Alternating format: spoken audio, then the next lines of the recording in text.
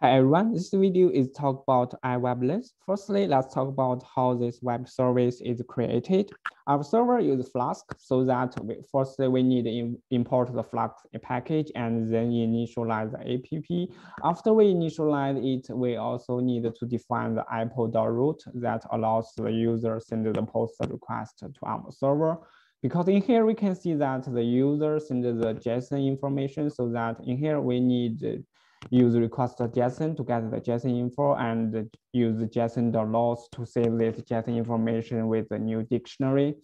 And then we need to decode the inform image information and use image.open and numpy array to get the image object. And then we need to invoke this do prediction method. This method is talk about how to use YOLO and OpenCV to detect the image information. And we do not talk about too much detail in here. Then we will go to the detect info information and uh, we need to traverse it in and save this information to a new object info dictionary because we know that each image may might have many objects. So also we need to save this object to a new objects dictionary.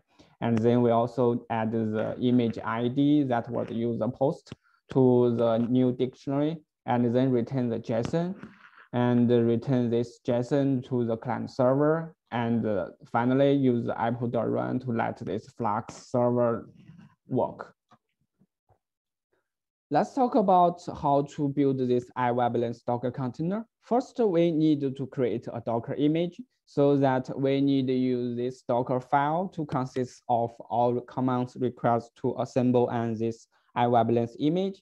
First, we use the Python 3.7 library and also install some C requirement that requires for the OpenCV and uh, then set the working directory and add this Python file to this server folder.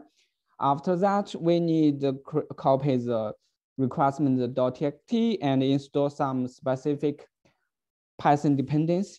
And after that, we need to set the default command for the container that will be invoked it is successfully created. After we finish the Docker file and the requirement uh, txt, we need to use this command to build the Docker image because we already created it. So we just use Docker images to see here. In here, we can see the Docker image already created. And after that, we also need to use this command to build a Docker container.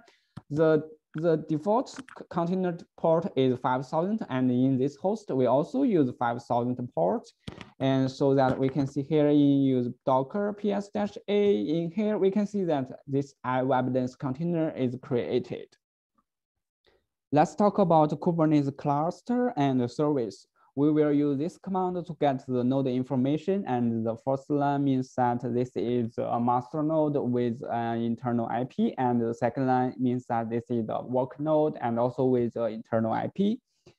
And we want to deploy the post. So let's look at the deployment YAML file. And the first line means that the API version, and the second line means that the can is deployment. And also the port have the name iWebLens deployment and with a label.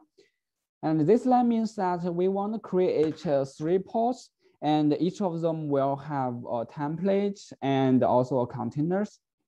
Because we know that the deployment cannot pull the private image so that we should push our image, private image to the Docker Hub.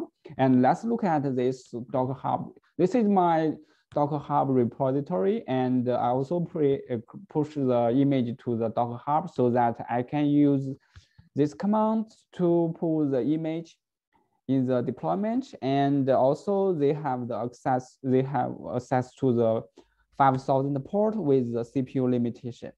And now let's talk, look at the service YAML file. And the service has the name iWebLens service and with a label. And we should uh, match the port with the selector. And we can arrange this port with any number because they will have the different IP address. But we should ensure this target port should have the same port number with the previous port container port.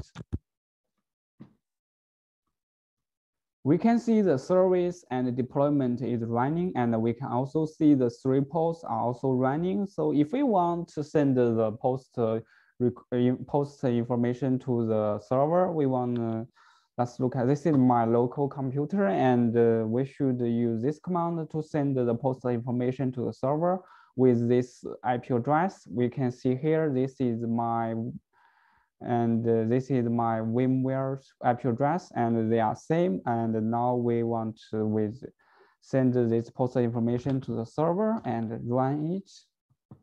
And just wait, now we can see we can go to the image information from the server.